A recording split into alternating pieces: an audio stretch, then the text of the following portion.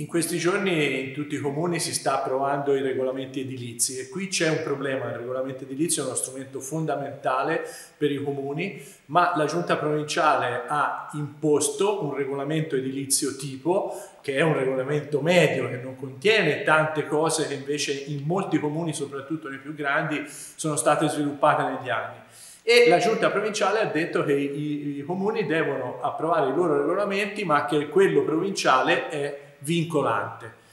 E quindi che cosa fanno i comuni? Alla disperata cercano di arrangiarsi e per esempio io ho qui l'esempio dei regolamenti approvati a Bolzano e Bressanone, a Bressanone per esempio c'era tutta una parte del regolamento che il regolamento provinciale non comprende sulla bellezza della città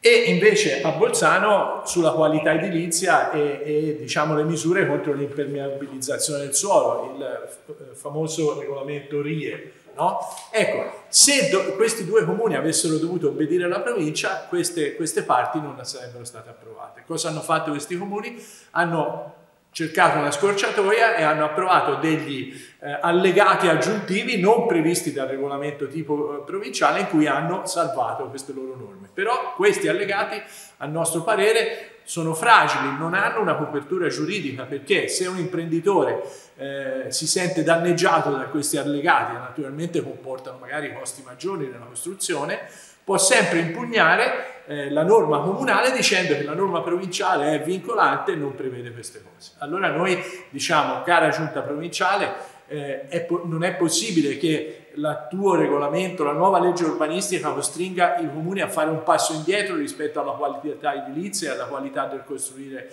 e dell'architettura nel loro territorio. Quindi eh, proponiamo con la nostra mozione che la giunta provinciale eh, approvi di nuovo una nuova delibera in cui dica non che il regolamento tipo provinciale è vincolante, ma che il regolamento tipo provinciale è una base, tra l'altro questo lo dice anche la legge, è una base che i comuni che vogliono introdurre pratiche e norme più avanzate rispetto alla tutela del suolo, rispetto alla tutela del clima, rispetto alla socialità, eccetera, lo possano fare. In questo modo noi cerchiamo di scongiurare quello che è successo a Merano. A Merano c'è la commissaria, quindi non se l'è sentita di correre rischi giuridici, eccetera, e lei cosa ha fatto? Ha approvato da sola, perché la commissaria sostituisce il Consiglio Comunale, il regolamento del Comune di Merano prendendo uno a uno il, il, regolamento provinciale e quindi per esempio è rimasto fuori tutta la parte del regolamento vecchio di Merano che riguardava Merano, città giardino, la mobilità, il verde eccetera. Questo è un delitto diciamo ed è una cosa sbagliatissima, non possono ripeto i comuni fare un passo indietro per colpa della legge urbanistica e doveva farli fare semmai un passo avanti e per questo chiediamo alla giunta provinciale di correggere questa cosa che tra l'altro crea un'incertezza del diritto.